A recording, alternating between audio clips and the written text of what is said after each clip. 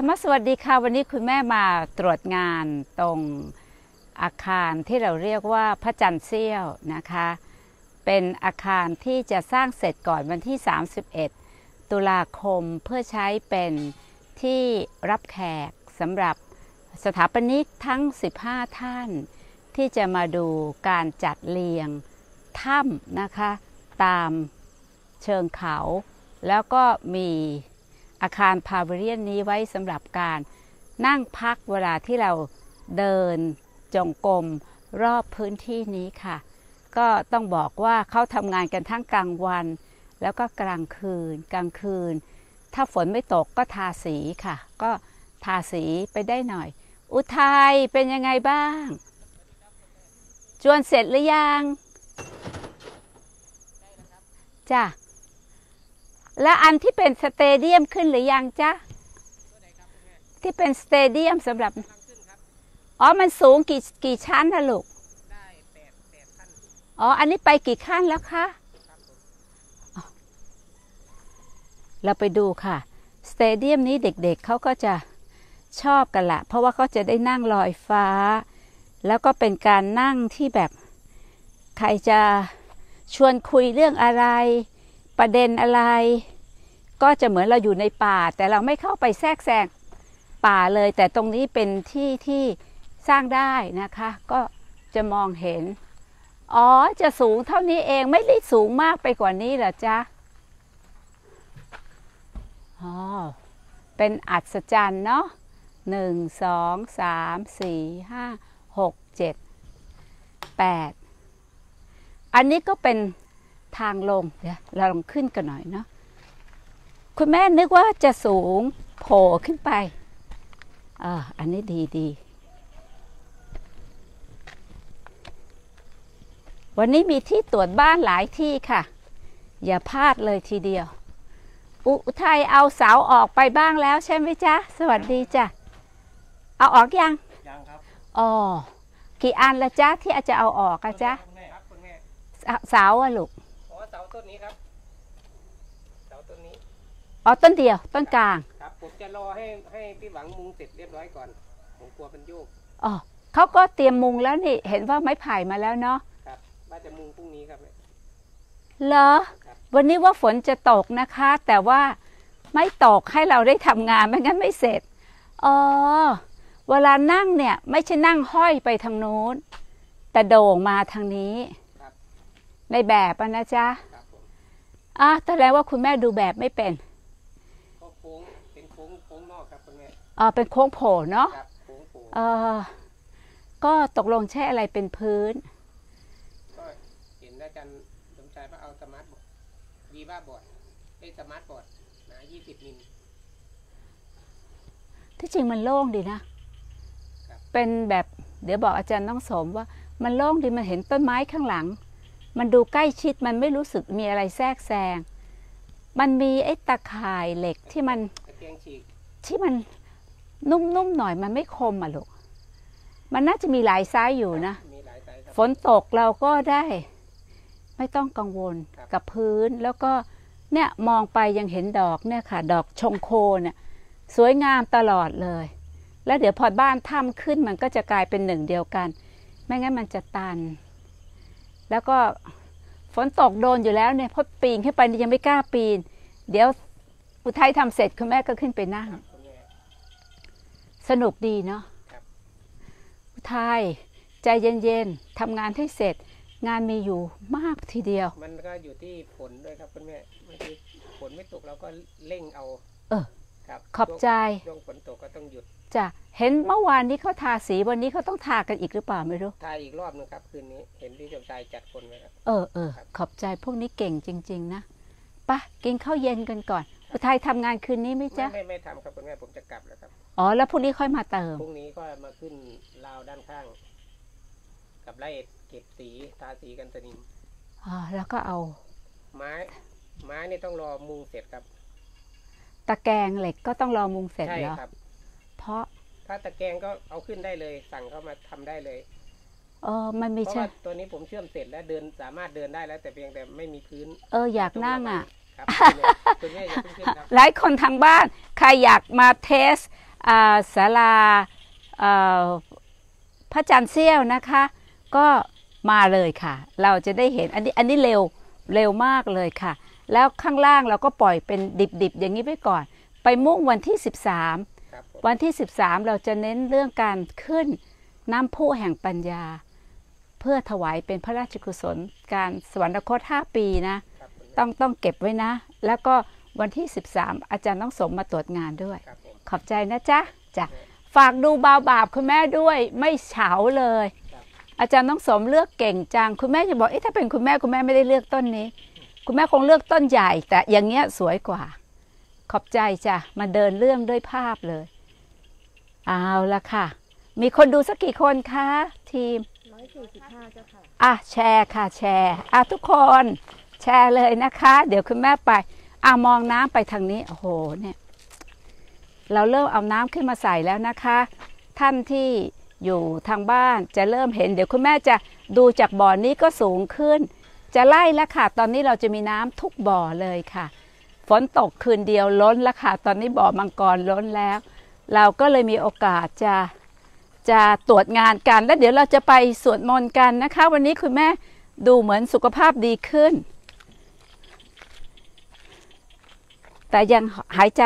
เอ้ยทิพย์เดี๋ยวเธอลื่น คุณแม่ลงได้เอาไหมนะ คุณแม่ลองดูหนึ่งเขาบอกว่าให้คุณแม่เก่งกล้ามเนื้อท้อง เพื่อจะลงระวังเราอะเอาล่ะ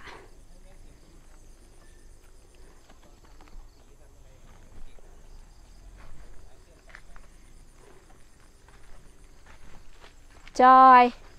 ไปบอกจอยขับไปรับทางนู้นเลยไปมา เรามาทางนี้กันเถอะ อันนี้จะเป็นการเดินที่เป็นเส้นทางที่เดินจงกรมจริง ๆ เราจะได้คุ้นชิน แล้วพอน้ำเนี่ย พอน้ำเนี่ยเต็มขึ้นมาเนี่ย เราก็จะดูหันกลับไปดูอาคารพาเวเรียนอีกทีหนึ่งเห็นไหมโอเคไหม ต้องโป่งต้องโป่งจะน้องสมคะสุดยอด มีอาคารอย่างนี้ให้เด็กๆสำหรับแอดเวนเจอร์เนี่ยดูสิ คุณยายตรวจงานให้หลาน เดินหน้าเดินหลัง โล่งไว้ดีสุด เพราะมันเหมือนเรามี ความถ่อมตัวนะความถ่อมตัวอยู่กับป่า อย่างถ่อมตัว เด็กเยอะๆ ก็นั่งข้างล่าง คนแก่ก็นั่งข้างล่าง ส่วนคนที่ชอบ adventure ก็เริ่มปีนป่าย อันนี้ก็สร้างได้เร็วมากเลยค่ะ ส่วนกุฏินี้เนี่ยแม่ชีเขาอยู่กันดูสิคะ สะอาดสะอาดไหมสะอาดมาก อันนี้ในดี ดีเอ้ย มีอีกสามหลังแล้วนะลูกเนี่ยเธอช่างพริ้มเพรา นะคะ ก็อยู่ที่ไหนสะอาดสว่างสงบก็ได้รับการเคารพ เจอสมณะที่สงบเย็น ก็ได้รับการเคารพสังเกตไหมคะ น้ำเยอะแล้วดูฝั่งนี้สิคะเนี่ยค่ะ เราจะเอาน้ำขึ้นมาให้เต็ม อันนี้ก็คือน้ำต้องถึงพื้นนี่แหละค่ะ อาจจะไปสุดตรงนู้นแล้วก็ทำเขื่อนปึ้งแล้วก็ขึ้นไปอีก บ้านถ้ำก็จะอยู่บริเวณนี้ค่ะ ที่บรรดาสถาปนิกทั้ง 15 ท่าน ก็จะได้เราก็กำลังมีเจ้าภาพที่จะทยอยเข้ามา เพราะว่าทุกคนก็อยากมาปฏิบัติ อยากมาอยู่กับคุณแม่นะคะ อันนี้ก็เป็นการตัดสินใจที่ถูกที่เราทำห้องน้ำไว้เยอะ เพื่อให้คนที่มาจากอาคารพระจันทร์เสี้ยว ก็เดินเข้ามาเข้าห้องน้ำตรงนี้ ก็เป็นการทำแลนด์สเคปที่ไม่ต้องคิดอะไรเยอะ เอาสะดวกนาธรรมชาติบำบัดเป็นไงบ้างจ๊ะ โอเคไหมะที่ปลูก โอเคไหมลูก ตอนนี้เป็นต้องถางหญ้าออกก่อนเจ้าค่ะเดี๋ยวเดี๋ยวส่งเด็กช่วย เราก็เก็บกับเด็กมาช่วยบ้างเออโหตอนนี้เด็กฮอตมาก เตรียมตัวจะบวชเอสาหังพันเตกันใหญ่เนาะเขาตื่นเต้น อะ ไปค่ะ อะจ้ะกิฟต์ อันนั้นครอบครัวบุญเหรอ ครอบครัวบุญเหรอโอ้กุหลาบพี่ติ่งกุหลาบพี่ติ่งเต็มเลย เดี๋ยวเราส่งแม่ชีนามาช่วยนะ จะได้แบบสวยทัน อะปะแดงเชียวของพี่ติ่งอะ่ะ เพราะราคาแพงอืมอึ๊บจ้ะไปะ ผักทันกินไหมลูก ทันกินนะ พอกิน แบ่งปันกันนะ ขอบใจนะจ๊ะ รอมะเขือเทศ โอ้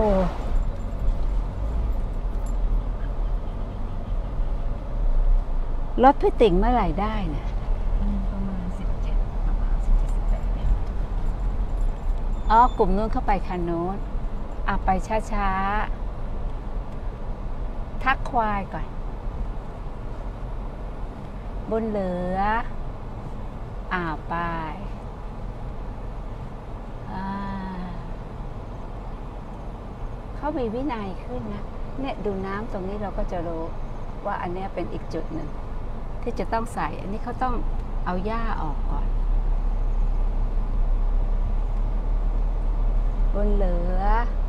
บนหลาย นั่นใครอะ วิวแม่ชีเจี๊ยบกับแม่ชีวิวอ๋อจ้าจ้าไปเข้าใจได้ เพราะว่า แม่ชีเลี้ยงควายควายเลี้ยงใจ แม่ชี ก็เลี้ยงกันคนละอย่างความน่ารักก็มีโอกาสที่จะได้ปรากฏดูน้ำดูน้ำเห็นไหมคะเขาดึงน้ำจากบ่อมังกรเข้ามาบ่อบนแล้วค่ะ เราจะเริ่มพอบ่อล่างเต็ม วิจารณ์ วิจารณ์ ทั้งวันได้เท่านี้เหรอลูก วิจารณ์ทั้งวันได้เท่านี้เหรอครับ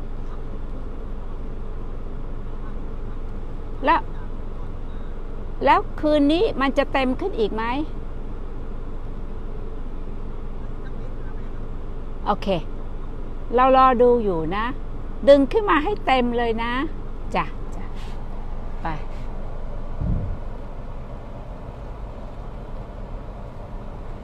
พวกเราอยากให้ให้นางเอก นางเอกไม่ต้องหลบ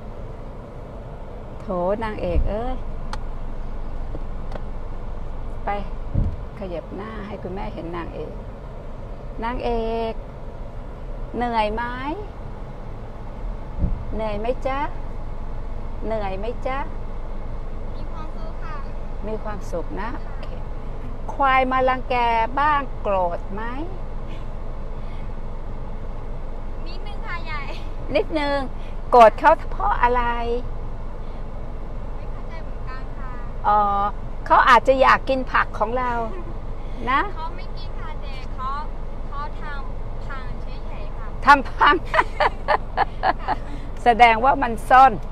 มันไม่มีเจตนานะจ้ะขอบใจนะจ๊ะอย่ากโกรธควายเลย เราก็ไม่ต้องเป็นควายไง เราเข้าใจควายมีกระตัญญูนะจ้ะจ้ะเป็นเป็นความสนค่ะ ควายนี่มีไว้สำหรับทำให้เราหายใจลึกๆ แล้วก็รักเข้ายาวๆ รักเขานานๆ รักเขาอย่างไม่มีเงื่อนไข ไม่น่ารักก็เกลียดไม่ได้ อ้าวเราไปดูน้ำที่วิจารณ์นั่ง เมื่อกี้เขาคงภาคภูมิใจอะไรของเขาหรือว่าเขารู้สึกว่าเขามีความสำเร็จอะไร แน่นอนเลย เพราะเขานั่งแบบชิลมากอะเนาะอันนี้เดี๋ยวให้คณะแม่ชีมา ตามดูเก็บต้นไม้ต้นนี้ให้คุณยายหน่อย เนี่ยอันเนี้ยคุณแม่อยากรู้ว่าน้ำสูงสุดมันจะล้นตรงนี้ไหมใจคุณแม่คิดว่าล้น เพราะว่าปลายนู้นมันสูงกว่าปลายนี้มันมาจากที่สูง ฉะนั้นถ้าล้นตรงเนี้ยตรงเนี้ยจะเป็นน้ำพุอีกอันหนึ่งที่บ่าลงมา นี่ทั้งวันเลยนะเนี่ย สูบกันเนี่ย สามารถเห็นเลยว่า น้ำเราเหลือพอ ฝั่งนี้ก็ล้นเลยเลี้ยวไปทางฝั่งของบ้านสามหลังนะจ๊ะ จะได้เห็นว่ามันยังเหลืออีกเยอะ แล้วตอนนี้มันซึมซึมลงไป พอเราดึงขึ้นที่สูงเนี่ยเห็นไหมคะ ยังล้นยังล้นถนนอยู่เลยเนี่ยมันก็จะซึมลงก็หมุนเวียนตามที่เขาวางแผนเอาไว้ ว่าน้ำมันจะหมุนเวียนน้ำมันจะไม่นิ่ง แล้วก็เป็นความหมุนเวียนที่เราเห็นไปทางด้านนี้ดีกว่าเดี๋ยวเดี๋ยวเราติดลม ทางนี้ก็จะเห็นว่าเขาเตรียมถางที่ที่จะใส่กุฏิอีกสามหลังแล้วล่ะค่ะ ก็จะเป็นการทำงานที่ยกมาตั้ง น่าจะทันวันที่ 31 นะคะ ก็มีเจ้าภาพมาแล้วสามหลัง และอันนี้ก็สวนมีคนนำคุณสุวิมลค่ะวันเกิดคุณสุวิมลนำต้นฉัดมาซึ่งก็เหมาะเลย เหมาะกับบ้านไม้สักเลย อันนี้ก็ตะวันปลูกจนเกือบเสร็จแล้ว อันนี้เป็นเรือที่แนนเอามาให้คุณยาย เดี๋ยววันไหนที่คุณยายพอแข็งแรงกว่านี้อีกสักนิดหนึ่งค่อยไปนั่งเรือ เพราะเนื่องว่าอะแพใช่ไหมเขาเรียกแพชื่อจริง ๆเขาเรียกว่าอะไรอ๋อสำหรับไปลอยน้ำนะคะ เนี่ยตอนเนี้ยน้ำยังล้นอยู่เลยเห็นไหมคะ มาจากพื้นที่ข้างเคียงด้วย สูบขึ้นไปเท่าไหร่ก็ยังมีเหลืออยู่ เมื่อเช้านี้มาตรวจงาน ก็ได้เห็นเลยว่าเขาเอารถมาปะให้มันเป็นม่านน้ำไหลลงไปนะคะดูไม่ยุบเลยเห็นไหมบ่อมังกร คือถ้าบ่อมังกรสูงกว่านี้คือฝั่งนู้นตรงปลายทางของออพระอริยธารามหาโพธิสัตว์ต้นแบบเนี่ยน้ำท่วมเลยนะ อันเนี้ยเรามั่นใจได้แล้วว่าเรามีน้ำพอสำหรับการหมุนเวียนที่จะขึ้นไป ด้านบน แล้วก็มีสถูปะลอยน้ำในวันที่ 13 เชิญชวนเลยนะคะ ใครที่ระลึกถึง พระองค์ท่านที่จากไป แต่เรายังมีหัวใจที่เป็นอนุสาวรีย์ที่มีชีวิตถวายพระองค์ท่านอยู่ มาร่วมกันก่อร่างสร้าง แสงสว่างแห่งปัญญาที่เราเรียกว่าน้ำพุแห่งปัญญาเนี่ยถึงนี่ละดูน้ำตรงนี้เห็นไหมลูกไอ้ที่กำลังสงสัยว่าไอ้ต้นเนี้ยมันจะรอดไหมถ้าน้ำมันแช่อยู่อย่างนี้ ใครมีความรู้บอกคุณแม่หน่อย ว่าต้นเนี้ยแช่น้ำได้กี่เดือน เพราะตอนเนี้ยน้ำมันคงจะต้องปิ่มอย่างเงี้ยไปอีกสักเป็นเดือน มันจะรอดไหมเนี่ย เราเราไม่อยาก ย้ายเขา เพราะว่ามันเหมาะกับเขา ตรงเนี้ยมันเหมือนเราเดินแล้วมันมีอะไรพลางๆหน่อย แต่เดี๋ยวเราต้องถามผู้รู้ก่อน มันพอเป็นน้ำเครึ่องบกเครึ่องน้ำได้บ้างไหมสักหนึ่งเดือนสำหรับน้ำเต็มอย่างนี้ จากนั้นแล้วก็อาจจะมีการลดลงบ้างตามฝนที่ขาดหายไปค่ะ เดินแล้วคงจะ สนุกนะ ตอนนั้นเขาไม่คิดว่าน้ำจะท่วมเร็ว ก็เลยยังไม่ได้เอาขยะออกนี่ค่ะ แพรที่เอามาทาฟิ้งโค้ดไว้ เดี๋ยวเราก็จะเห็นสิ่งนี้ค่ะ เอาประกอบเป็นฐานกำลัง แล้วก็ลอยลงไปตรงบริเวณที่กว้างที่สุดของบ่อค่ะ เห็นใช่ไหมคะว่าน้ำทางฝั่งนี้เริ่ม ท่วมแล้วค่ะ อันนี้คือน้ำตกลงมาจาก ภูเขาอีกลูกหนึ่ง แล้วก็ไหล วันนี้สงสัยจะเปิดทำงานกลางคืนกัน นี่พายนี่เดี๋ยวให้เขาเก็บด้วยนะ อะ เราลุยได้ วันนี้เราทำงานกันเยอะ เดี๋ยวเราจะไปเล่าให้กลุ่ม คณะแม่ชี และผู้ที่ติดตามเราทราบว่ามันมีอะไรเกิดขึ้นบ้างในหุบเขาโพธิสัตว์ คุณแม่ก็เล่าเรื่อง เราวเล่าสภาพอย่างเงี้ยเหมือนอะไรเลยมะเหมือนตอนอยู่บางประหันเลยเนี่ย เนี่ยค่ะ น้ำก็อย่างนี้เลยค่ะ แฉะแฉะเน่าเน่าถ้าไม่ตกอีกมันก็จะนิ่งนิ่งนะคะ อย่างเงี้ยค่ะ แต่เดี๋ยวจะถูกดึงขึ้นไปไฟข้างบนล้วอาจจะอาจจะพอทันกัน ข้างบนก็เต็มข้างล่างก็มีฝนมาเพิ่ม เดี๋ยวเอาโดรนมาวิ่งดูซิว่าน้ำเต็มเลยเป็นอย่างไร เราวางแผนการทำงานมาในหนึ่งปีนี้เราคอยมาพอเข้าเป้าไหม เอาละไปที่ธรรมะสวัสดี อันนี้ดูชัดเลยนะว่าต้นไม้มันครึ่งต้นแล้วอะคนเดินตรงนั้นน่ะใส่บันทึกไว้ด้วยนะว่าต้นไม้ที่เซเซตรงนั้นน่ะเดี๋ยวเราจับตั้งซะก่อนเดี๋ยวมันโค่นเรื่องชีวิตนี่ต้องให้การดูแลเป็นเบื้องแรก เอานะคะ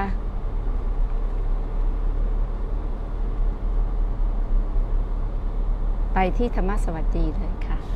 เราเหลือเวลาอีก2นาที 18 นาฬิกาตามหมาย ฝึกทำงานให้ตรงในทุกเรื่องไว้ก่อน แล้วเดี๋ยวถ้ามีอะไรเป็นพิเศษก็ถือว่าเป็นกำไรไปค่ะตอนนี้มีคนดูเพิ่มขึ้นหรือเปล่าจ๊ะ พวก backstage ต้องทำหน้าที่ฮะ อ่า โอเค เกือบ 200 แล้ว อีกนิดเดียวแชร์ไปก่อน เราควรจะทำวัดสวดมนต์เป็นเป็นนิจศิลของเรา แล้วเดี๋ยวก่อนทำวัดคุณแม่จะสรุปให้ฟังนิดหนึ่งถึงเรื่องการปฏิบัติการทำงานดูเด็กๆ เลี้ยงกระต่ายเหรอลูกจะทำท่าเขิน เด็กๆ เลี้ยงกระต่ายเหรอจ๊ะ ทางนู้นทางธรรมาสมไม่ชีจุ๋มก็เตรียมห้อง VIP ให้แล้วนะ ตื่นเต้นไหมรีบพูดเลยป้าป้าอะไรนะ China doll เหรอ Chinese มันน่ารักนี่แหละต้นไม้นี่เตรียมแล้ว เตรียมดอกตูมแล้ว เดี๋ยวเอาเข้าพื้นที่อ่าละจ้ะ ตรงเวลา โอ้อีกตั้ง 9 นาที อะ ดื่มน้ำนิดนึงเลย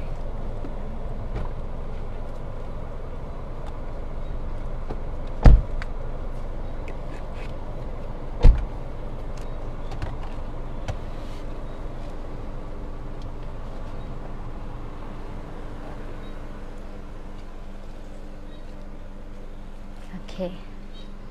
ไป วันนี้บอกว่าฝนจะตก ดีจังเลย ไม่ตกตอนกลางวันเราได้ทำงานเข้าเป้า ทุกหน่วยงานเลย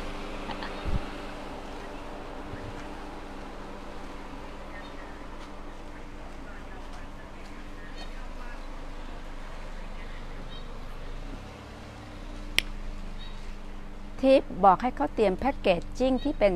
กิฟต์เซตอย่างนี้ให้คุณยายเอาไปที่ เสถียรหนึ่งหน่อยนะ อาจจะเอาไปสักห้าชุด มีทั้งหมดก็เอาไปทั้งหมดสักห้าชุด เอาไป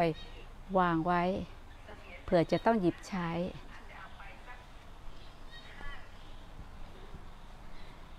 กลัวคุณแม่ไม่ลงหรือไงจ๊ะ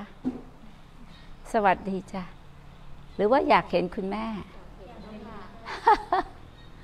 เธอว่าคุณแม่ดูดีขึ้นไหม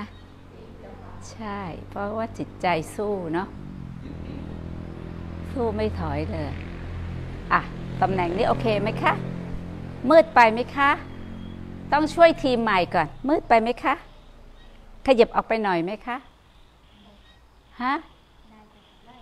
ขยับหรือไม่ขยับ วันนี้เรามีทีมที่เข้ามาช่วย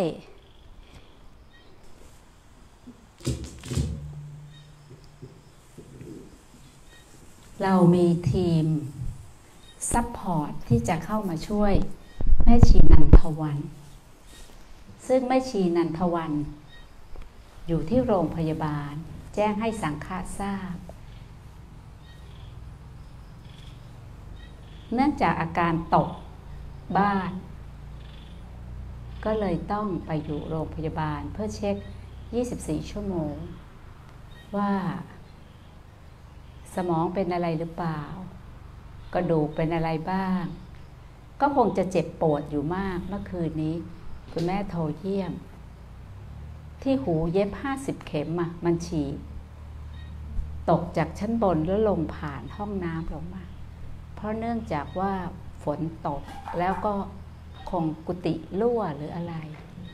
แล้วก็ออกไป เหยียบไอ้พื้น ที่มันซึมน้ำแล้วน้ำมันก็คงเป็นตัวแปรนะคะ ที่ทำให้พื้นตรงนั้นเนี่ยมันซุดแตกก็ล่วงจากข้างบนลงผ่านห้องน้ำเลย ก็ดีว่าหน่วยกู้ภัยก็พาส่งโรงพยาบาล ตอนนี้อาจกำลังดูอยู่ อาจจะกำลังลุ้นว่าคุณแม่จะยังทำงานปกติได้ยังไง ก็มีทีม ที่ฝึกกัน เมื่อคืนนี้ที่จริงเมื่อคืนนี้คุณแม่ก็ตั้งใจจะลง แต่ว่ามันเพิ่งเกิดเหตุการณ์ แล้วเราก็คิดว่าอย่าเลย ให้มันเป็นไปตามจังหวะของชีวิต เพราะคุณแม่เองก็มีงานถ่ายสารคดีอยู่ คุณแม่ก็เลยไปทำสารคดี แล้วก็เริ่มต้นเมื่อเช้านี้กับการให้ทีมใหม่ เข้ามาช่วยในการถ่ายทอดตอน ทำวัดเช้า ก็ขอบใจ ความสามัคคีธรรมของสังฆะไม่ว่าอะไรจะเกิดขึ้น เราก็ยังดำเนินชีวิตของเราตามปกติ ใครที่ฝึกไว้ดีก็จะลงมาช่วย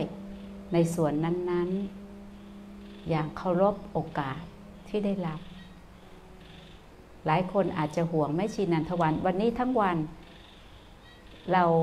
ใช้แม่ชีน้อยนาเป็นตากล้อง นอกนั้นก็ฝึกให้สลับ เดี๋ยวก็จะให้แม่ชีออฟซลแม่ชีมิ้นแม่ชีทิพย์เพื่อให้ทุกคนได้ฝึก งานของเราก็ยังต้องเป็นปกติอยู่แม่ชีนันทวันคงต้องลาอยู่อีกนานพอสมควร เพราะเกี่ยวกับกระดูกข้างหลังด้วย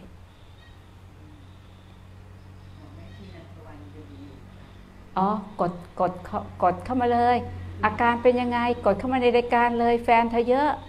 แม่ชีนันทวันไม่กลัวอยู่แล้ว คุณแม่ถาม นี่เธอเจ็บมะเจ็บเจ็บ หูนี่ใครมีสิวเม็ดเดียวเจ็บเลยที่ห้าสิบเข็มอะ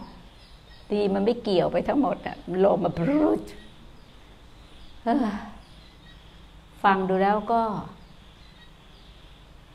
อย่าอ้วนนะ อย่าอ้วน อ้วแล้วมันตบตึกได้ แต่ที่สำคัญก็คือ เขายังบอกว่า ฝากพี่จอยดูแล คุณยายด้วยนะ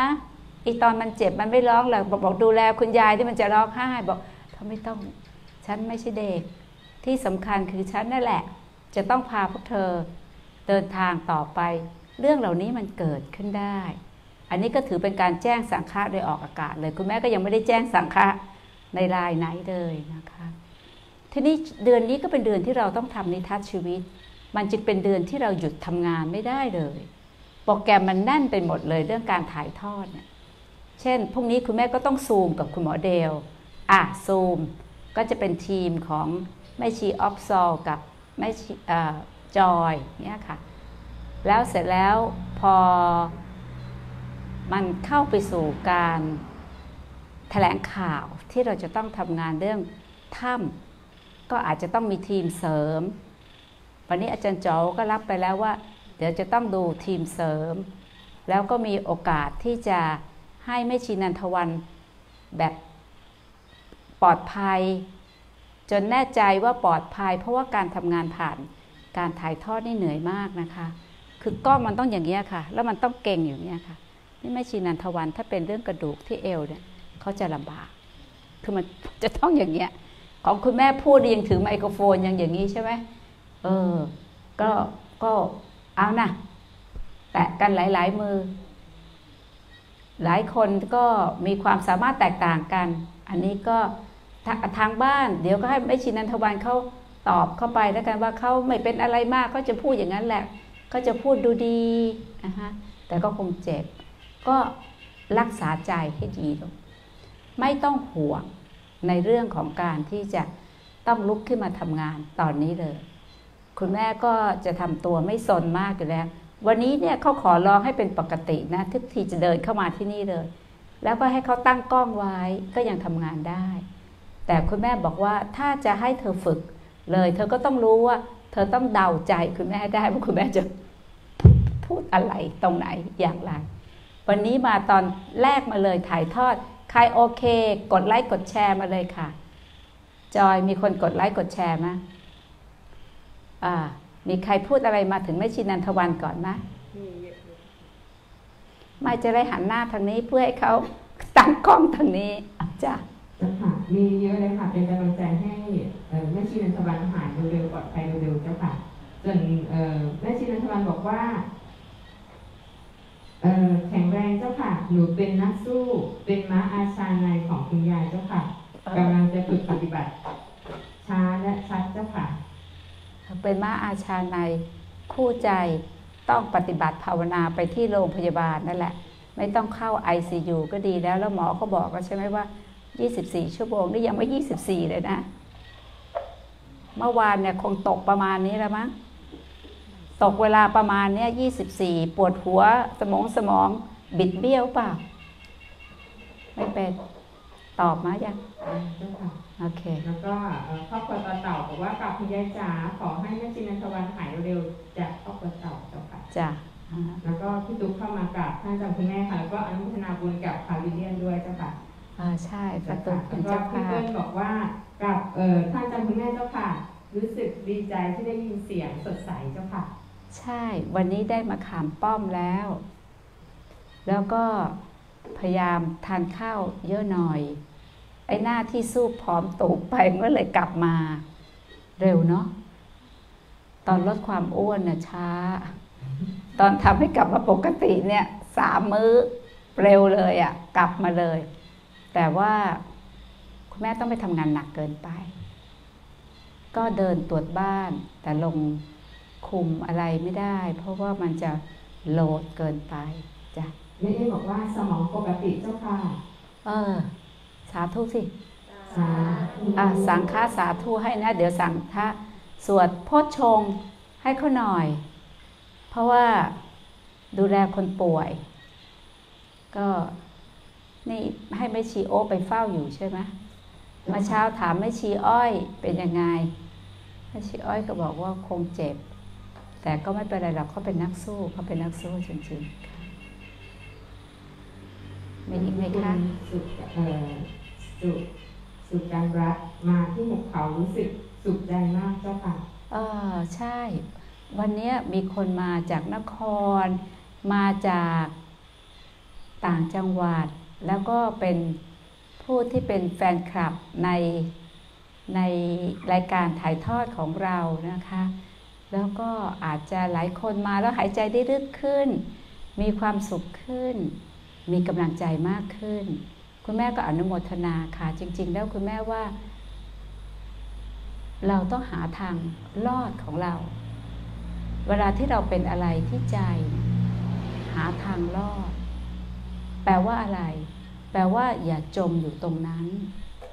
ถ้าอยู่ตรงนั้นแล้วมันคิดวนๆก็เปลี่ยนสถานที่ แต่ต้องเลือกว่าไปในที่ที่มันทำให้เรากลับมาดูแลจิตใจของเรา ให้รู้สึกกลับมาเต็มอิ่มกับชีวิต ถ้าเราเต็มอิ่มกับชีวิตเราก็จะไม่โหยหา จะไม่เป็นคนที่ต้องไปหาอะไรมาเติมเต็มแบบนอกลู่นอกทาง ซึ่งมันไม่ใช่ทางออก มันเป็นการสนองความอยาก แล้วพอมันได้แล้วมันไม่หยุดอยากอะสิ ความอยากเนี่ยมันจะโตไปเรื่อยๆไอ้ความอยากเนี่ย เรายิ่งให้มันมากเท่าไหร่มันยิ่งอ้วน มันยิ่งหิว อันนี้เราต้องรู้ธรรมชาติ เพราะฉะนั้นการมาที่นี่เนี่ยมันสงบ ความอยากมันสงบแต่มันอิ่ม ก็ดูต้นไม้ใบหญ้าแม่ชีปลูกต้นนั่นต้นนี้ ยิ่งฤดูกาลเนี้ยคุณแม่ยังตามหาชื่อต้นไม้บางอย่าง ที่เขาถ่ายขึ้นมาในไลน์ ไม่ถูกเลยนะเราเนี่ยเห็นดอกเนี้ยมาตั้งแต่ปีที่แล้วก็ยังถามว่ามันเป็นดอกไม้ป่าชนิดหนึ่งคล้ายๆนมแมวผสมจำปี แข็งไม่แข็ง แต่ว่ามีลักษณะเชฟเป็นอย่างนั้น แล้วมันมีความพิ้วของกลีบดอก มันเป็นไม้ป่าที่อยู่ที่นี่ คุณแม่ก็เลยบอกแม่ชีว่าช่วยเลี้ยงไว้ แล้วเราก็ค่อยๆ ตามสังเกตเขา แม้กระทั่งวันนี้ที่ไปปลูกต้นไม้กันที่ประตูทางเข้าห้องน้ำนะก็เอาจากต้นไม้ที่ขึ้นเองที่นี่ที่ชื่อวิเชียนอะไร วิเชียนทองละนองเจ้าค่ะเออวิเชียนทองละนอง สวยงามมากเลยค่ะ แล้วก็มันก็ดูขึ้นง่าย ก็เลยบอกหนูลองใส่ไปอย่างน้อยให้คนเข้ามาที่เนี่ยจากทุกๆเนี่ย มันเห็นธรรมชาติที่นี่เขาก็จะเฉิดฉายอยู่ในบรรยากาศแบบเดิมๆของเขา ส่วนที่เรามี happiness มีทองอุไรมีอะไร อันนั้นมันเป็นต้นไม้ที่เป็นอาคันตุกะเข้ามา อันนั้นจะเป็นต้นไม้เฉพาะกิจ แต่ว่ามันจะให้ความดึงดูดแบบรวดเร็ว แต่ไอ้ต้นไม้ที่มันอยู่เป็นพื้นถิ่นเนี่ยมันมีเสน่ห์ของมันลึกๆ อันนี้คุณแม่จะเปรียบเทียบกับคนนะ สมมติว่าถ้าเราเนี่ยเป็นอคันตุกะที่เข้ามา เราอาจจะดูโดดเด่นด้วยการแต่งเนื้อแต่งตัวตามเทสของเรา มันก็เป็นเป็นลุกสำหรับอาคันตุกะ แต่ว่าคนในท้องถิ่นเนี่ยเขามีความงาม ความดี ความจริงของเขาอยู่ในแบบเขาเปรียบเทียบกันไม่ได้ด้วยนะ เอามาเป็นคู่เปรียบกันก็ไม่ได้ด้วยนะ ทุกคนมี ธรรมชาติของตัวเอง ที่ มันถ่อมตัวแล้วนำไปสู่การเคารพ คนอาหารการเนี่ย คนอวดดีเนี่ย มันจะถือตัว แล้วมันจะดูถูกคนอื่น ไม่มีใครอยากอยู่ใกล้ เพราะมันหลงตัว ทุกคนก็มีความหลงตัวอยู่แล้ว ไปเจอคนหลงตัวขึ้นไปอีก มันก็แทบอ้วกแล้วอะ ฉะนั้นคนที่เข้าใจธรรมชาติอย่างเนี้ย ทำไมเขาถึงถ่อมตัว แต่ในความถ่อมตัวของเขาเนี่ย มันมีสีมีเชฟ มีกลิ่น ที่มันทำให้คนต้องหันกลับไปดู คนหันกลับไปเฝ้าสังเกตเราไม่ต้องอวดดี เราทำดีได้แต่เราไม่ต้องอวดดี เราทำดี แต่เราไม่อวดดี เราก็ไม่ยึดดี ไม่ถือดี ไม่เมาดี ไม่หลงดีทำดีแล้วก็ปล่อยดี สังคมก็ดีขึ้นเลยอันนี้พูดถึงในระดับมหาภาคเลยนะ คือถ้าคนหนึ่งคนเนี่ยลดความเป็นชั้นของชั้น ไม่มีมานานุสัยได้นะนี่คือการทำงานในระดับปัจเจกเริ่มต้นที่เรา แต่ไม่ใช่ของฉันนะ เราคือเราช่วยกัน เราร่วมกัน เตือนกัน เตือนกันเอ้าจูน มีความสุขไหมล่ะปลูกตรงนี้ เออ ก็ดีความสุขของเราเล็ก ๆนี่แหละ มันจะพาเรารอด อย่างเงี้ย คุณแม่ก็จะเตือนไอ้ความสุขใหญ่ ๆ ที่เราละโมบไว้ เหมือนเราจะตะคุบเอาผลไม้ทั้งป่านะนึกถึงลิงอะ่ะ มันไม่รอดหรอก เพราะความอยากมันดันเราทีนี้ถ้าเราทำ ให้ความสุขเล็ก ๆ ของเราเนี่ยโดยระดับปัจเจกต่อเนื่อง ใครเข้ามาใกล้ก็มีความสุขด้วย คุณแม่เห็นเธอทำงานกันในไลน์ส่งมา คุณแม่ยังเออ ถึงเวลาลงแขกก็ลงแขก ถึงเวลาไปเก็บอะไรที่ตัวเองอยู่แล้วมีความสุขเก็บทิ้งไม่เก็บเอา เออก็ดูดีสงบ อย่างคนที่เขามีพลังมากเข้าไปลงแขก เพราะว่าเขามีพลังเยอะ อย่างวันนี้เด็กปะปากยอก็ขึ้นไป ดูแลม่านน้ำตกบนสถูปะละ เต็มตัวละ กลางคืนซ้อมเอสาหังพันเต ซ้อมให้พร เช้าขึ้นไป เตรียมพื้นที่จะบวชละแล้วเมื่อกี้คุณแม่ผ่านมา โอ้เขามีความสุข เราเคยเห็นเด็ก ที่มีอิสรภาพอย่างนี้ไหมล่ะ เด็กในบ้านจะถูกบังคับ ทางบ้านไม่ใช่ว่าไม่ดี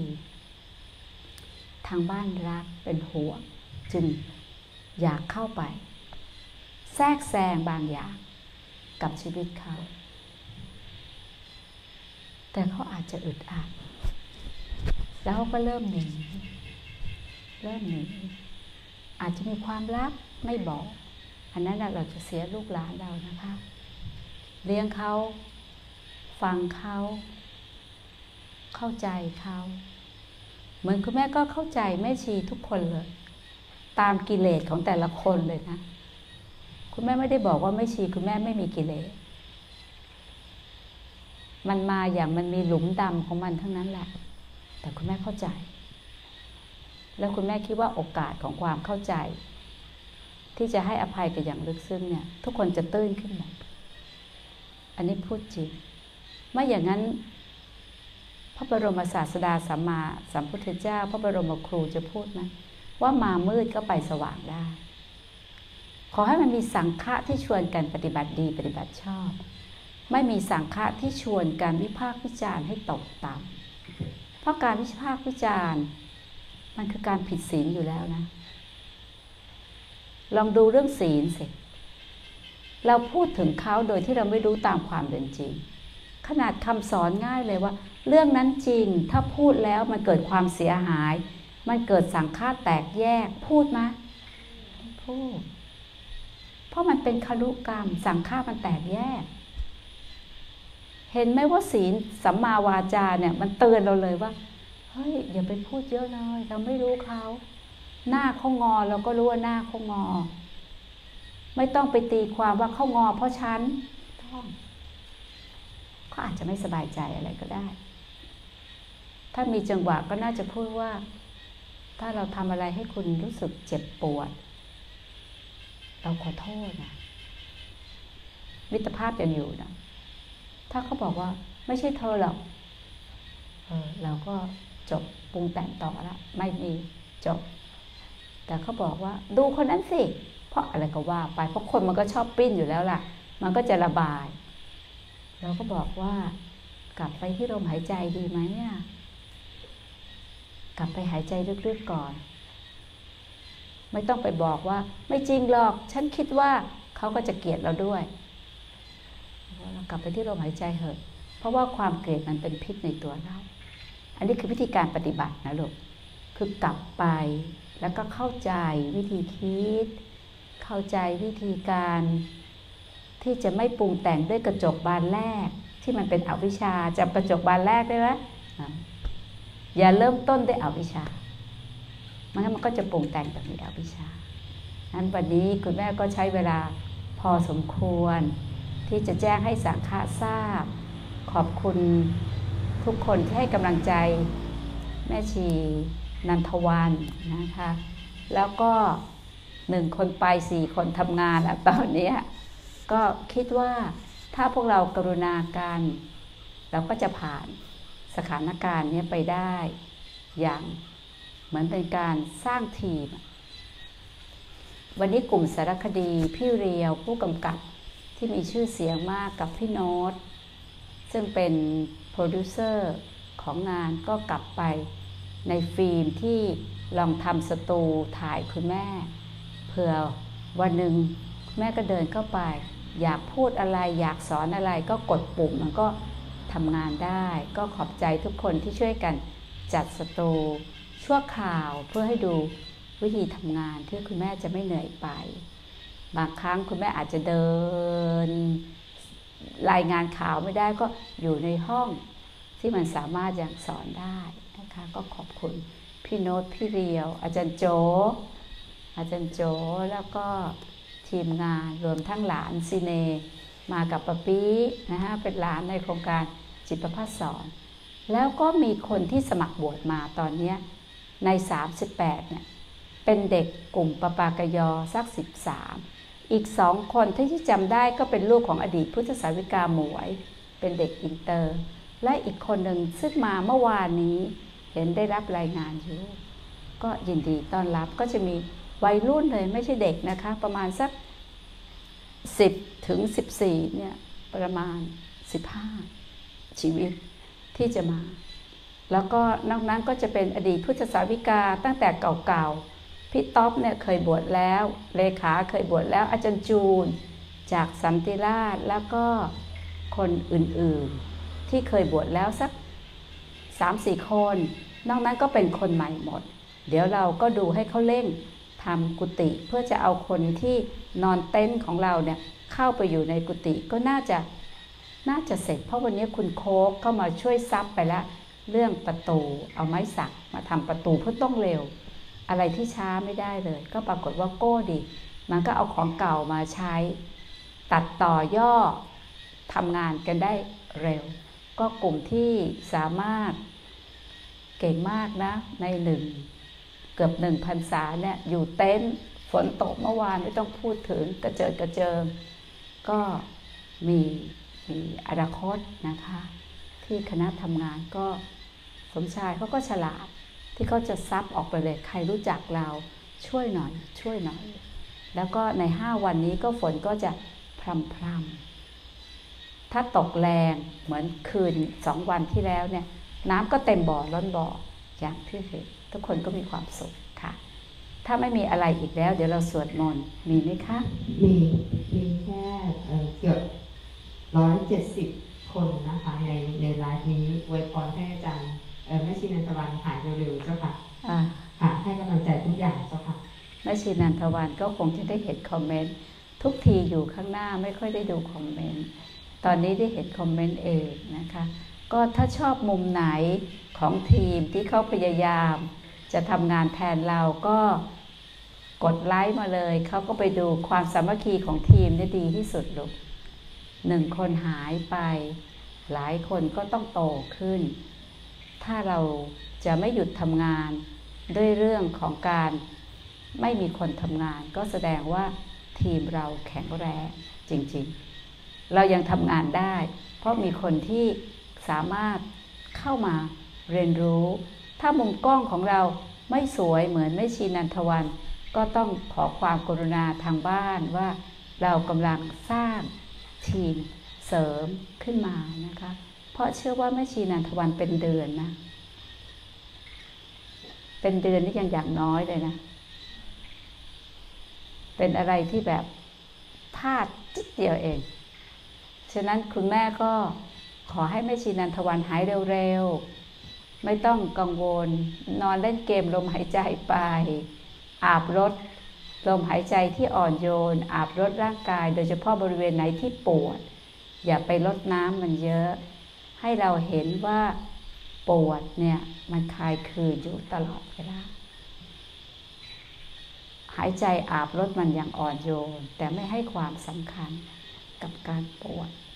รู้ว่าปวด แล้วความปวดก็คลายคืนอาจจะยังทำไม่ได้ทั้งหมด แต่เราจะลองดูว่าถ้าจิตเราจดจ่ออยู่กับลมหายใจ แม้แต่ความปวดจะอยู่ที่หูที่เย็บห้าสิบเข็มหรือที่ กระดูกข้อที่เท่าไหร่ที่แบบมันแตกหรือเปล่าอันนั้นนะเราเอาจิตไปอยู่กับลมหายใจ อย่าเอาจิตไปอยู่กับความเจ็บปวด แล้วอ่อนโยน หายใจอย่างอ่อนโยน หลับลึกๆ หลับให้มีคุณภาพ กินอาหารได้ตามปกติ เขาบอกว่าให้ขยับตัวเบาๆ ก็ต้องเตือนว่าทุกอย่างต้องช้าลง อันนี้ก็เป็นหน้าที่ที่คนป่วย จะต้องฝึกจิตรู้ทีละเรื่อง อยู่กับลมหายใจ ลมหายใจเป็นเพื่อน ลมหายใจแห่งสติ จะเป็นอาวุธที่ทำให้เรา รู้ว่าความปวดทางกายมันอยู่ที่กาย มันไม่ได้มาปวดที่ใจ ถ้าเราหงุดหงิดที่ใจ แล้วเรารู้สึกว่าเราไม่อยากปวด อันนี้ต้องกลับมาดูจิต เพราะมันเป็นความรู้สึกที่เกิดขึ้นทางจิต ปวดที่กาย แต่ไม่อยากปวดที่ใจต้องดูใจค่ะเอ่อแม่ชีนันทวันบอกว่ารอสวดมนต์ทำวัดเย็นพร้อมสังฆะเจ้าค่ะแล้วบอกว่าทีมมีศักยภาพทุกคนเจ้าค่ะค่ะอะถ้าอย่างนั้นส่งกำลังใจเราจะชุมนุมเทวดาลงมาฟังธรรมวันนี้สวดพ่นชงเนาะเจ้าค่ะแล้วก็เราหวังว่า ทุกคนในโลกนี้ที่กำลังเจ็บป่วย จะได้รับการเยียวยาด้วยพลังแห่งการสาธยายพ่อชก ขอให้ทุกคนอยู่กับลมหายใจ เพื่อที่จะเชิญเทวดาลงมาฟังธรรมนะคะ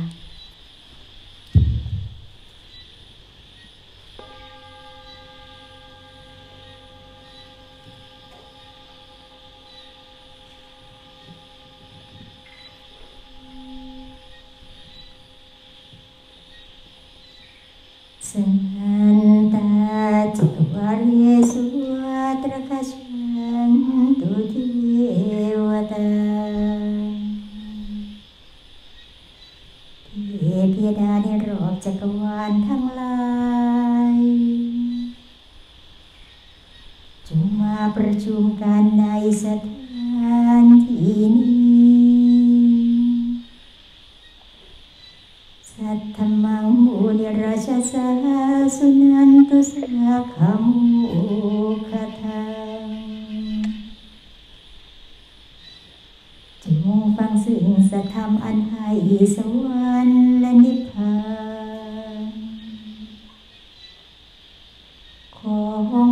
สัมมาสัมพุทธเจ้า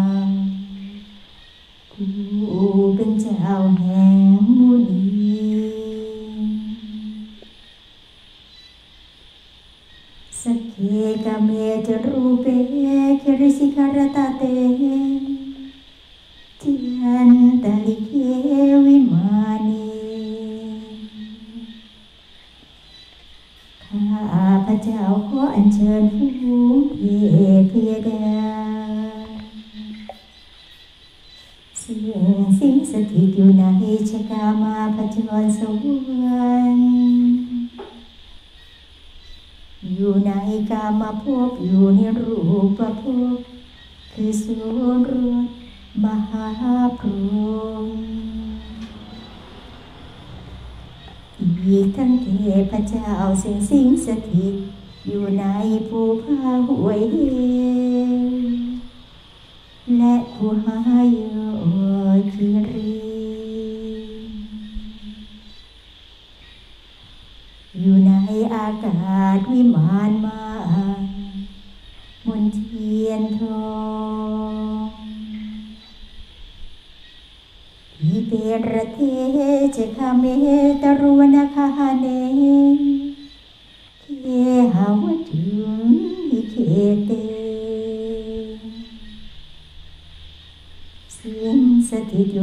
กาะแก้วเมืองหลวงและพระนครใหญ่น้อยเสิ่งสถิตอยู่ในแค่หาสถานบ้านน้อยและเมืองใหญ่ทั่วทุกชนบท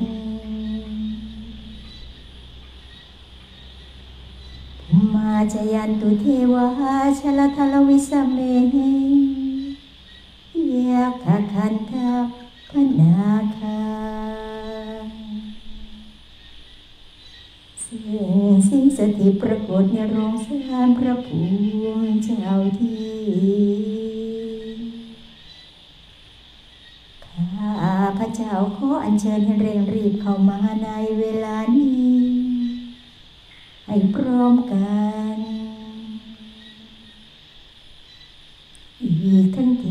เทพเจ้าสิ่งสิงสถิต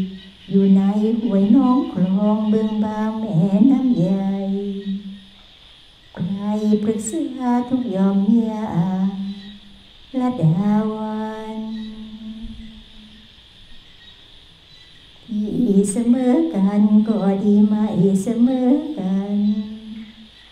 ก็ดีใช่แต่เท่านั้นเบื่อเรมีถึง สาคนทานรูปนาคาติทันตาสันติเกยังมุนิวรจนังสาธุเมสุนันตุอีกทั้งเทพเจ้าซึ่งสิงสถิตอยู่ในสถ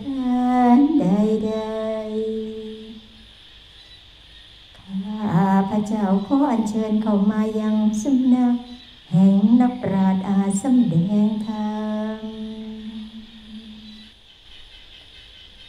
ดูก่อนสัพพบรุษพุทธบริษัททั้งหลายเอ่ย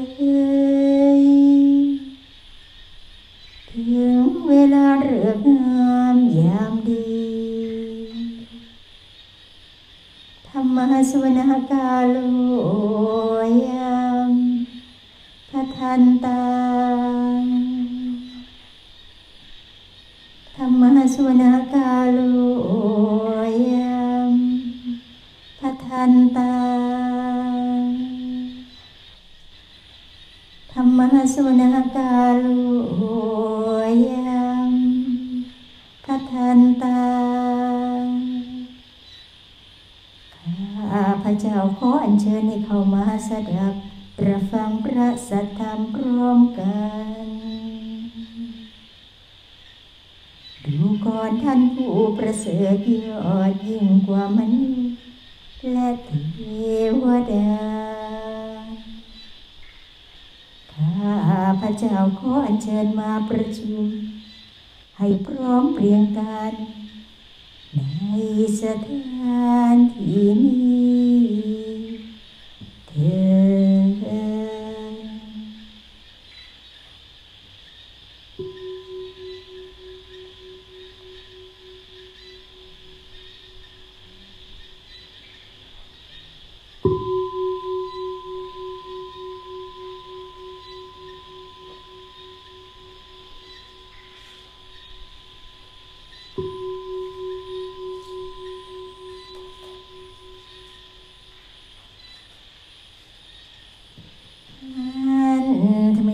ทัสสะภะคะวะโตภูพาภาคณมการังกโรมาสีเอนาโมตั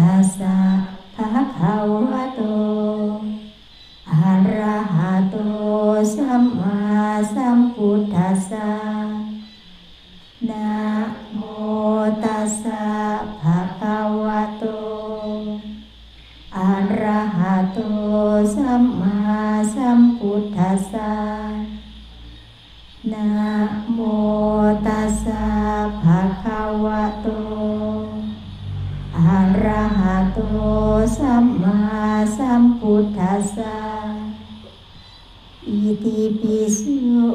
ภะคะวะอะระหังสัมมาสัมพุทโธเวชาจารณะสัมปันโนสุขโตโลกาวิทู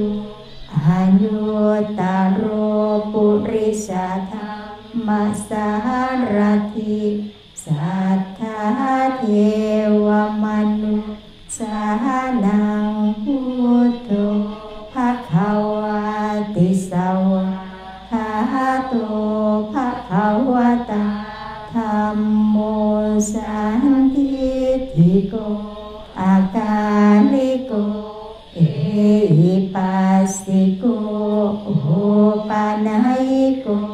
ปัจจตังเวทิตาโพ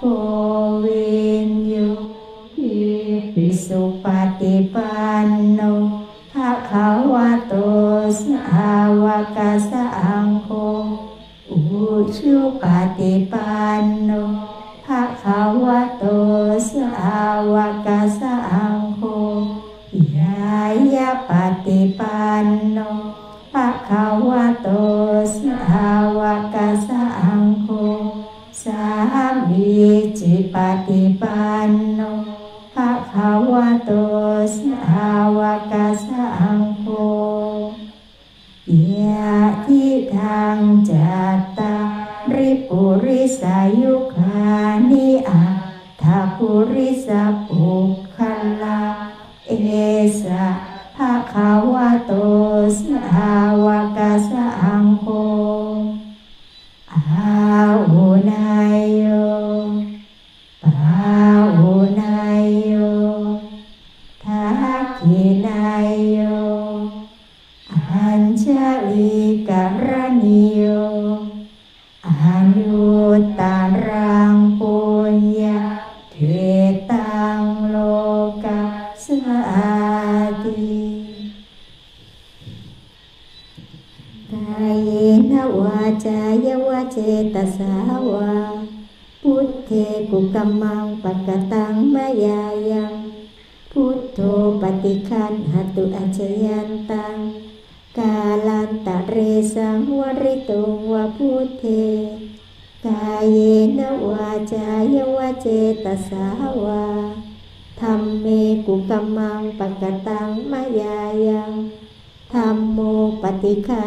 ตุอัจจยันตัง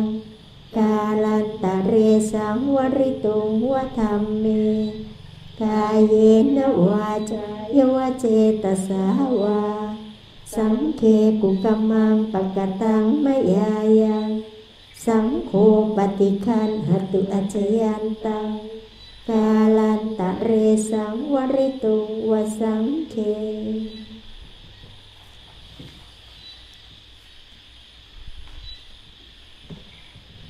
บทโพชังคปริตค่ะ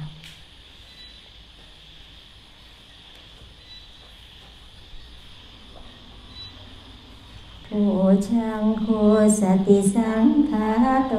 ธรรมานาวิจโยตถาวิริยมปีติปัสสัตติโพชังคาจตถาปะเรสัมมาทุเปกขาโพ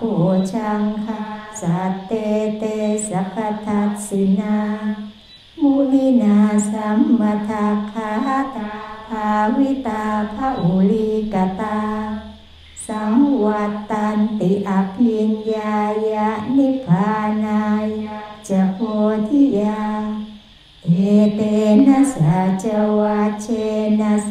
ติเตโหตุสัพพทา โพชงเจ็ดประการคือสติสัมโพชง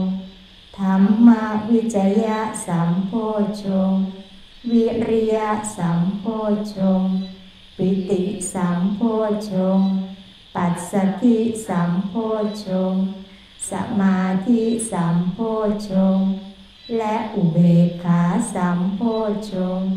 พระมุนีผู้รู้แจ้งสภาวะธรรม ปวงตรัสว่า ผู้บำเพ็ญและกระทำโพชงให้มาก ย่อมรู้แจ้ง บรรลุถึงพระนิพพาน และความตรัสรู้ ด้วยสัตว์วาจานี้ ขอท่านจงมีความสวัสดีทุกเมื่อเธอเอกสมิงสมัยเย สปังพิราเนทุกิเตทิสาวาโพชังเคสตเทสยีสมัยหนึ่งพระโลกนาทอดพระเนตรเห็นพระโมคคัลลานะ และพระมหากัสสปะ อาพาธได้รับความทุกข์จึงทรงแสดงโพชงเจ็ดเทจะตังอภินันทิตาวาโร ตังคะเนเอเตนะสัจวาเชนะโสติเตโหตุสัพพทาพระทั้งสองยินดีรับโพชงนั้น หายจากโรคทันที ด้วยสัตว์วาจานี้ ขอท่านจงมีความสวัสดีทุกเมื่อเธอ เอกทาธรรมราชาปิเกลันเยนาพิปิริโต จุนทัตเทเรนตังเยวะพนาเปตวานาสาทรังครั้งหนึ่งสมเด็จพระธรรมราชาทรงพระประชวรหนักรับสั่งให้พระจุนทเถระ สาธยายโพชงถวายโดยเคารพสัมโมทิตวาจะอาปาทาตัมหาอุทาสิทานโสเอเตนะสัจวะเชนะโสติเตโหตุสัพพทาพระองค์ทรงแช่มชื้นพระทัยหายจากพระประชวรโดยพลัน ด้วยสัตว์วาจานี้ ขอท่านจงมีความสวัสดีทุกเมื่อเธอปาหินาเตจะอาปาทาตินนันนาปิมเหสินังมัคคาหตะกิเลสาวะปัตตานุปัตติธรรมตัง เอเตนะสัจวะเชนะโสติเต โหตุสัพพทาพระพุทธเจ้าและพระเถระ ผู้แสวงหาคุณอันประเสริฐทั้งสามได้หายจากอาพาธแล้วดุจกิเลสที่ถูกอริยมรรคประหาร ไม่กำเริบอีก ด้วยสัตวาจานี้ ขอท่านจงมีความสวัสดี ทุกเมื่อเถิด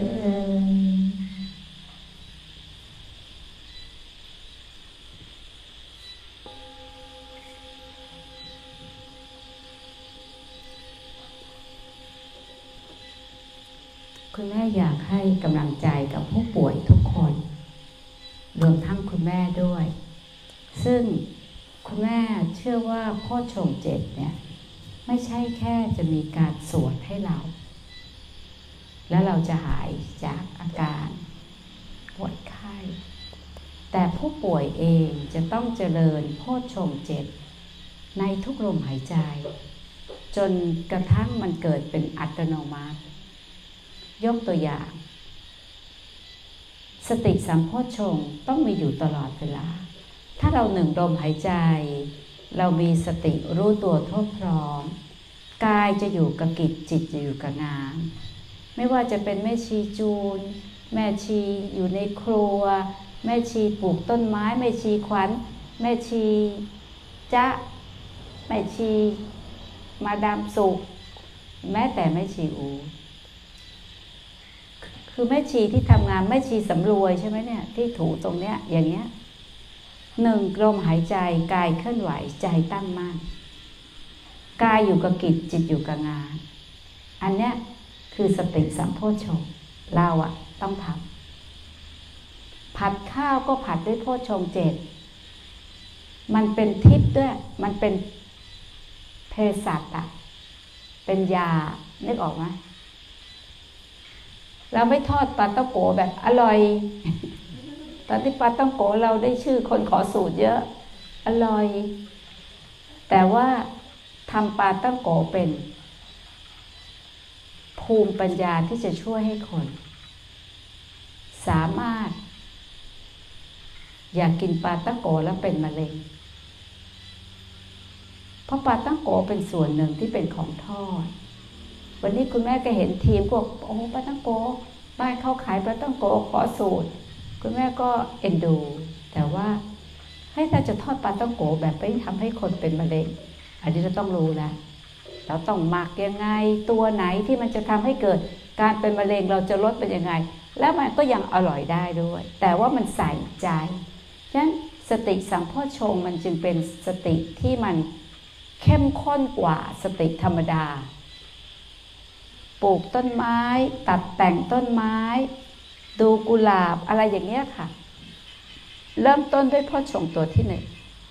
เมื่อมีสติสัมโพชฌงกายอยู่กับกิจจิตอยู่กับงาน มันเริ่มมีกำลังไหมกายกระใจเป็นหนึ่งเดียวกันหั่นผักได้โพชฌงเจ็ดเนี่ย มีกำลังไหมมีกำลัง ไม่ใช่จิตคิดไปโน่น และไอ้นี่ก็หันไปโดยอัตโนมัติมือเป็นอัตโนมัติไม่มันทำงานไอ้สิ่งเนี้ยที่มันแบบเกิดเป็นสิ่งที่ตามสติสัมโพชฌงค์คือ ธรรมวิจยะสัมโพชฌง์ ธรรมวิจยะเนี่ยวิจยะคือวิจัยอะธรรมวิจัยอะเข้าใจไหมทำซ้ำซ้ำซ้ำจนมันสามารถเข้าใจสืบค้น เฟ้นออกมา เป็นความเข้าใจทางปัญญาเลย ปลูกผักวางเมล็ดผัก ดูแลการเติบโตของผัก ด้วยการทำงานเรียกว่าธรรมวิจยะ สัมโพชงเห็นไหมเป็นขั้นตอนการปฏิบัติแล้วนะคะ สติสัมโพชงธรรมวิจยะสัมโพชงต่อไปมันเป็นวิริยะ คือเพียรพอเรารู้เราทำซ้ำจนมันเป็นงานวิจัยแล้วเนี่ยมันจะเพียรต่อสิ่งนั้น เราเรียกว่าวิริยะสัมโพชงมันไม่ผ่านหลงไป จากความเพียรอื่น เป็นความเพียรที่ปิดประตูนรก แล้วเดินต่อไปเลย อันนี้เป็นเพียรชอบ พอมีวิริยะสามโพชง แต่ละขั้นเนี่ยมันเกิดต่อกันเป็นขณะเลยนะ ขณะจิตเลยนะ มันก็จะมีปิติ ปิติเนี่ยมันอยากไม่ได้นะ มันจะเกิดเหมือนเนี่ยน้ำพุแห่งปัญญาลูกมันเกิดมาจากข้างใน คือมันใช้ปัญญากับ ธรรมวิจยะสัมโพชง แล้วก็มีความเพียรวิริยะสัมโพชงมันก็เป็นปิติมันก็ผุดขึ้นมา แล้วเรารู้ตัวเร็ว เราเห็นปิติคลายคืนกลับไปสู่ปัสสธิคือความสงบระงับ เราเรียกว่าปัสสธิสามโพชงพอปัสสธิสามโพชงมันเข้าสู่สมาธิเลยจิตเป็นสมาธิสัมโพชง แล้วก็อุเบกขาสัมโพชฌงค์อะ ลองนับดูเจ็ดหรือยังเจ็ดแล้วเจ้าค่ะอะ อะไรตัวแรก สติสัมโพชฌงค์ธรรมะธรรมวิจยะสัมโพชฌงค์วิริยะสัมโพชฌงค์ปิติสัมโพชฌงค์ปัสสธิสัมโพชฌงค์สมาธิสัมโพชฌงค์และอุเบกขาสัมโพชฌงค์แบบเกิดขึ้นเหมือนลัดนิ้วมือเลยปลูกต้นไม้หนึ่งต้นครบหมด เพราะเราปลูกต้นไม้แล้วดอกไม้ก็ไม่ใช่เป็นของฉันใช่ไหมปลูกแล้วยังไงอะ ปลูกแล้วปล่อยปะละเลยเหรอป้าแล้วก็ยังดูแล แต่การดูแลต้นไม้เนี่ย มันเป็นการดูแลแบบไม่มีชั้นเราก็เห็นความเรียกค่ะ เปลี่ยนแปลงของมัน แต่มันไม่มีชั้น เออ ไอ้ดอกไม้พวกเนี้ย ถ้ากลุ่มที่เขาผลิตเขายังรู้สึกว่าเขายังมีที่ว่าง อย่าลืมเอาไป อยู่ในรายการผลิตที่จะทำให้อะไรคะ เอาไปทำบูงาแจกวันงานได้นะ อย่าลืมนะ คือเก็บเก็บหมดเลย วันที่ 31 จะได้มีของแจกที่เป็นผลิตภัณฑ์ของทาราโปรดักหลากหลายนะอะไรที่สอนไว้ เพราะฉะนั้นวันวันนี้ก่อนที่เราจะทำสมาธิแล้วอุทิศส่วนกุศลเนี่ย ลองเจริญโพชฌงค์แม้กระทั่งในสมาธิเนี่ยทวนโพชฌงค์เจ็ดนอนด้วยความมีสติอะกายอยู่นี่ใจอยู่นี่ เดี๋ยวมันมีปิติมันหลับลึก ไม่กังวล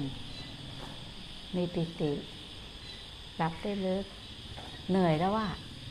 เหนื่อยแล้วก็น่าหลับลึกใช่ไหมเหนื่อยแล้วยังนอนกระสับกระส่าย ไม่น่าใช่เราอะเนาะ เหนื่อยก็แบบถอดสวิตช์ปุ๊บหลับเลย แต่ให้เจริญโพชฌงก่อน ทุกวันเลยเนี่ยเหลืออีกสองวันพระทำโพชฌงให้แจ้ง มาบวชเนี่ยรู้เรื่องโพชฌงอย่างเดียวก็เป็นองค์คุณแห่งการบรรลุธรรมแล้วนะโพชฌงเป็นองค์คุณตัวสุดท้ายหลังที่มีมรรคภาวนา แล้วมีโพชฌงเจ็ดก็บรรลุเลย เข้าใจเนาะเป้าหมายเรายังชัดอยู่ใช่ไหมล่ะ ถ้ามีโพชฌงเจ็ดแล้วอุปกิเลสสิบหกมาได้ไหมได้ไม่ได้เราต้องรู้ของคู่กันก่อน จับอะไรไว้เป็นหลักยึดทำให้มันทุกวันทุกวัน แล้วก็ต้องขอบใจพวกเราไม่ว่าอะไรจะเกิดขึ้น ความเป็นปกติของเราเนี่ยมันทำให้เราเนี่ยมีความสามัคคี คุณแม่ว่าความสามัคคีเนี่ยเป็นตัวแทน ที่ดีมาก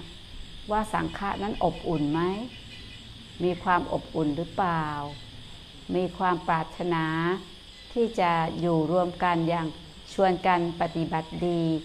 ปฏิบัติชอบดีอยู่หรือเปล่า ถ้าอย่างนั้นเราพอมีเวลาอีกสักนิด เราอยู่กับการภาวนาพ่อชงเจ็ดนี่แหละลูก ทวนพ่อชงเจ็ดในลมหายใจเข้าออก แล้วเดี๋ยวคุณแม่พาแผ่เมตตาแล้วก็อุทิศส่วนกุศลสำหรับทางบ้านนะคะพ่อชงเป็นเรื่องที่สำคัญนะคะ แล้วคุณแม่ก็อยากให้ทุกคนได้มีโอกาส ใช้ช่วงเวลาที่คุณแม่ออกมาชวนคุยออกมาชวนกันปฏิบัติดีปฏิบัติชอบเนี่ยปฏิบัติตรง ปฏิบัติให้รู้ แจ้ง ในคำสอนของพระบรมศาสดาสัมมาสัมพุทธเจ้า ที่มีผลจากการทำจริง ก็ได้ผลจริง บรรลุได้จริงๆนะคะในช่วงที่ทุกอย่างมันค่อยๆสงบลง ธรรมะอย่างต้องอาบรดใจเรา เราเอาธรรมะมาอาบใจเรา หนึ่งลมหายใจเข้าายใจอย่างรู้ตัวทั่วพร้อม อาบกาย ใจ ให้เห็นว่ากายใจเป็นหนึ่งเดียวกันในปัจจุบันขณะเห็นกายกับใจ มีความสมดุล อ่อนโยนก็รู้ ผ่อนคลายก็รู้ กายใจเป็นหนึ่งเดียวกันในปัจจุบันขณะรู้ปัจจุบันขณะทรงพลังรู้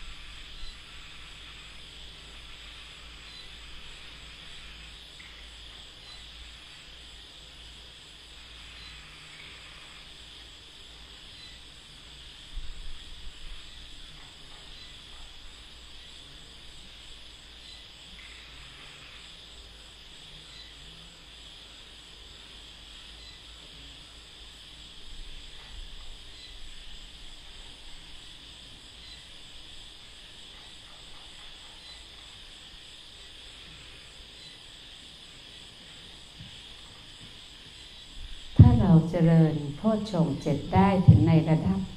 ที่เราเรียกว่า มีปิติสามโพชฌงปรากฏขึ้น ลองฝึกยืนดู แล้วอย่าเข้าไปคลุกคลีเราจะเห็นปิติ สงบระงับโดยธรรมชาติร้วนๆไม่ได้ขึ้นอยู่กับเรา จากนั้นก็เข้าสู่ปัสสธิสัมโพชฌงค์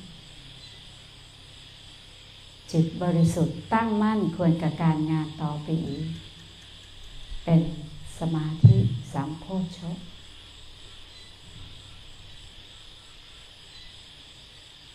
เห็นสภาวะธรรมใดปรากฏขึ้น เห็นสภาวะธรรมนั้นคลายคือ เป็นอุเบกขาสัมโพชฌงค์ นี่คือการเดินทาง ในการปฏิบัติ โพชฌงเจ็ดซึ่งเป็นองค์คุณแห่งการบรรลุธรรมให้ทำอย่างนี้ทุกวัน บ่อยๆ จนชำนาญ แค่นี้ก็ไม่หลงแล้ว ให้เราเจริญเมตตา ต่อชีวิตที่จะไม่เบียดเบียนอีกต่อไป ใครมากวักมือ ท้าทาย ชวนทะเลาะ เราก็จะรู้เองว่าสิ่งนั้นไม่คู่ควรแล้วอยู่ในพ่อชงเจ็ดนั่นแหละอยู่จริงๆ ไม่ใช่สมองอยู่ แต่จิตไม่เติบโตนะ ใช้ชีวิตอย่างไม่เบียดเบียน ไม่คิดร้าย ไม่มุ่งร้าย ไม่พยาบาทไม่ผูกโกรธแต่ให้อภัยอย่างมีซึ้งให้ตั้งใจ อาหัง สุขิโตโหมิหังสุขิโตโหมิอาหังนิ ทุกโขโหมิอะหังนิทุกโขโหมิอาหังอเวโรโหมิอะหังอเวโรโหมิอาหังอัพยาปัชโชโหมิอะหังอัพยาปัจโชโหมิอาหังอะนีโคโหมิอะหังอะเนโคโหมิอาหังสุขีอัตตานังอะหังสุขีอัตตานังปะ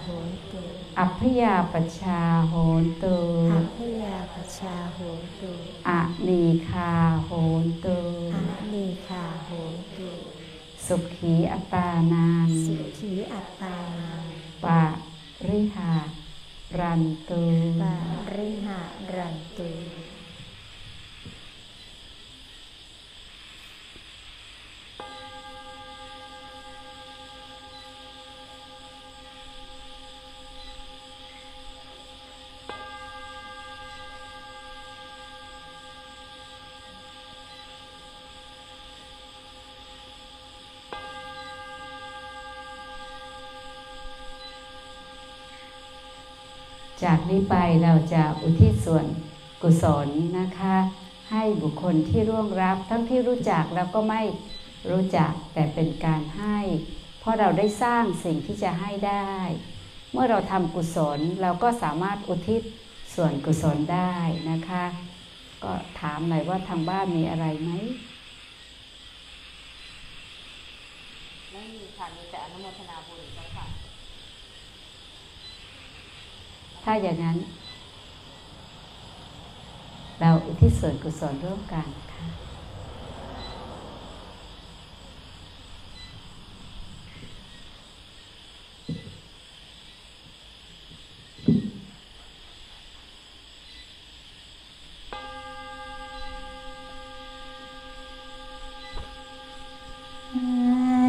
ธรรมยังอุทิสนาทิพานาคาทายุ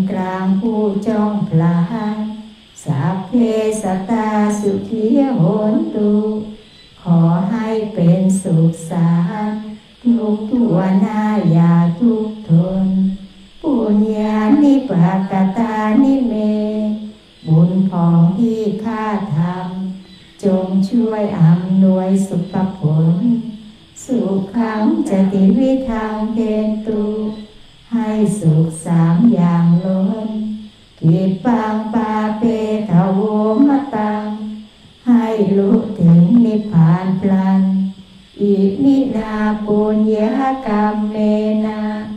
ด้วยบุญนี้ที่เราท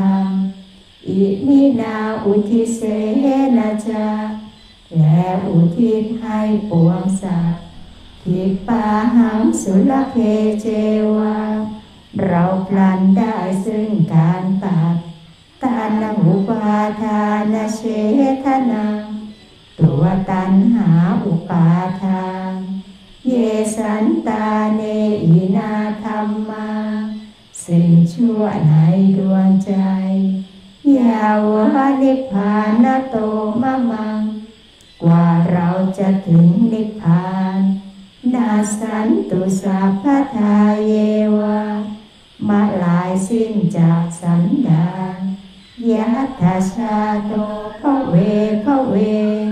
ทุกทุกภพที่เราเกิด อุชุจิตังสติปัญญา มีจิตตรงและสติทั้งปัญญาอันประเสริฐสันเลโควิริยมมหินาพร้อมทั้งความเพียรเลิศ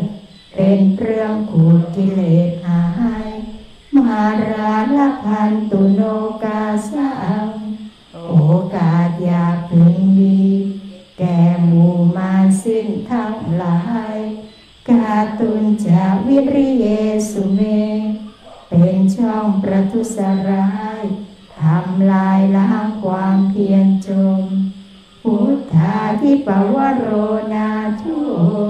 พระพุทธผู้โบรณาธรรมโมนาโทวรุตตโม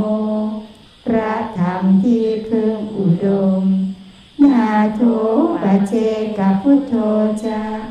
พระปัจเจกพุทธสงฆ์สังโฆนาโทตโรมะมังทบพระสงฆ์ที่พึงพยองเตโสตมานุภาเวนังด้วยอานุภาพนั้นง่ายนะ เมื่อเราพอให้เวลากับตัวเองรักตัวเองเป็น เราก็จะรักคนอื่นเป็น เราก็จะช่วยช่วยคนอื่นได้ ก็ขอให้ทุกคนสุข สงบเย็นแล้วเป็นประโยชน์ร่วมกันนะคะ ธรรมะสวัสดีค่ะ